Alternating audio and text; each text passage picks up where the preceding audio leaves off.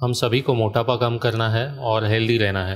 लेकिन ये सब डाइट गोलियाँ और प्लान्स के पहले साइंस वेट लॉस के बारे में क्या कहता है?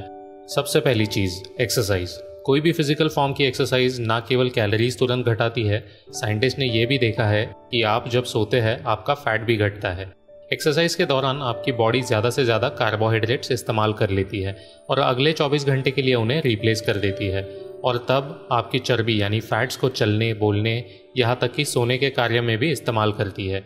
कभी कोई भी भोजन स्किप ना करें, खासकर ब्रेकफास्ट। साइंस बताता है, आप जब भी खुद को ज़्यादा देर भूखा रखते हैं तो आप में ज़्यादा कैलोरीज वाला खाना खाने की इच्छा बढ़ जाती है, बजाय की हेल्दी खाने के। नाश्ता करने से आपके ब्लड में शुगर और हॉर्मोन्स के लेवल्स मेंटेन रहते हैं, जिससे आपके मेटाबॉलिज्म यानी कैलोरी बर्न करना ज़ोरों से काम करता है। और पूरे दिन तक कैलोरीज बर्न होती है। ज़्यादा प्रोटीन और लो फैट डेली प्रोडक्ट्स अपने डाइट में लेना भी लाभदायक है। प्रोटीन के कारण बॉडी में P Y Y chemical release होता है, जो आपके ब्रेन तक जाता है और आपको भूख लगने की फीलिंग को कम करता है। अपने डाइट में सिर्फ़ 10 परसेंट ज़्यादा प्रोटीन ऐड करने से आपका पेट लंबे समय तक भरा रहता है। लो फैट डेयरी में कैल्शियम होता है, जो आपके खाने के साथ पेट में बाकी फैटी एसिड्स के साथ मिक्स होता है और सूप जैसा पदार्थ बनता है, जिसको पचाने में वक्त लगता है। आपका शरीर ये सूप जैसा पदार्थ बाहर फेंकता है, जिसके साथ मिक्स हुए फैट्स बाहर निकलते हैं। सूप की बात चल रही है तो बता दूँ, सूप भी बहुत बड़ा डाइटिंग सीक्रेट है। आप जब आपके खाने के साथ पानी पी लेते हैं तो पानी जल्दी एब्जॉर्ब हो जाता है। आपके पेट में खाना तब तक डाइजेस्ट भी नहीं हुआ होता, जिस कारण आपके पेट की साइज़ अंदर से कम हो जाती है और आपको वापस भूख लगती है।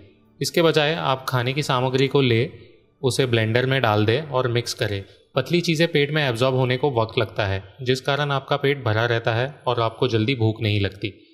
अपनी कैलोरीज गिनो। स्टडीज़ से पता चला है कैलोरीज गिनने वालों में कैलोरीज ना गिनने वालों के मुकाबले ज़्यादा इंप्रूवमेंट दिखे ब्लैक कॉफ़ी में 10 कैलोरीज होती है और कैपेचिनो में 100 कैलोरीज आपको ये पता है तो अपना डाइट सही करने में आपको हेल्प मिलेगी। आप ज़्यादा खाकर भी कम कैलोरीज कंज्यूम कर सकते हैं। और ये अजीब लगेगा, लेकिन आप अपने प्लेट साइज़ छोटा कर देते हैं तो आपके फ़ूड इनटेक काफ़ी हद तक कम होती है। स्टडी से पता चला है 12 इंच के बजाय 10 इंच की प्लेट में खाना खाने से बॉडी का फ़ूड इनटेक 22 परसेंट से कम हो जाता है। अगर खाना हमारे आँखों के सामने दिखे, हमारी बॉडी को पेट भरा रहने के बावजूद ज़्यादा खाने की आदत होती है। तो जितना कम खाना आपकी थाली में, उतना अच्छा है। नींद और तनाव पर भी आप कितना ज़्यादा खाना खाते हैं, ये डिपेंड करता है। कम सोने और ज़्यादा तनाव में आप ज़्यादा खाना खाने लगते हैं और आपका वज़न बढ़ जाता है। कोई सवाल पूछना चाहते हो तो कमेंट्स में लिख दो। इस वीडियो को अपने दोस्तों और फैमिली के साथ शेयर ज़रूर करना और चैनल को सब्सक्राइब भी ज़रूर करें। Thank you